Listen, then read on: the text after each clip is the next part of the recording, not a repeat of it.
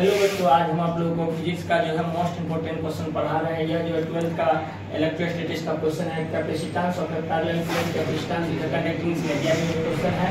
यानी ये फ़र्स्ट और सेकंड ये पॉजिटिव और नेगेटिव दो प्लेट है, इसके बीच में एगो स्लैब को रखा गया है। और मतलब प्लेट इस ऊपर में क्या पॉजिटिव चार्ज को रख दिया गया है, नीचे में क्या नेगेटिव चार्ज है, इसके बीच में क्या है स्लैब है। प्लेट वन प्लेट टू के बीच का डिस्टेंस कितना है दिया? स्लैब का डिस्टेंस कितना है डी स्लैब का डिस्टेंस निकालेंगे तो डी में से टी को क्या कर देंगे?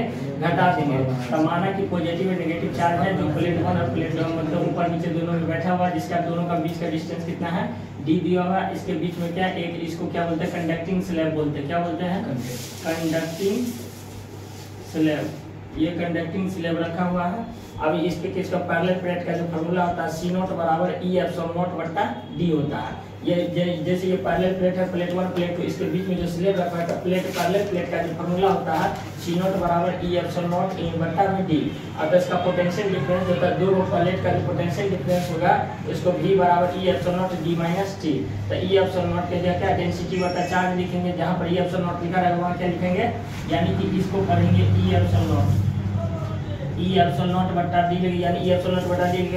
डेंसिटी आता है तो का फॉर्मूला आता है चार्ज बटा एरिया तो डेंसिटी की जगह पर लिखेंगे क्या? चार्ज बटा एरिया यानी कि ए जो जाएगा, इसके बटा चलेगा डी माइनस टी अब देखते हैं कैपेसिटेंस का फॉर्मूला कैपेसिटेंस के अनुसार, किसके अनुसार?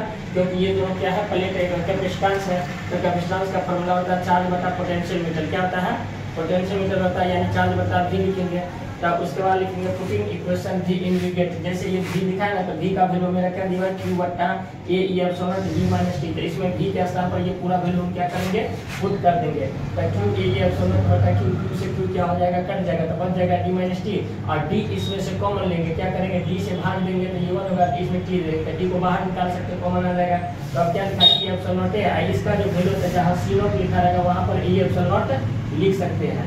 ठीक है? तो जहाँ पर ए एप्सिलॉन लिखा है, इसके स्थान पर क्या होगा सी नोट लिख सकते हैं। तो ये हो गया मेरा पैरेलल प्लेट का कंडक्टिंग का हो गया फॉर्मूला हो गया।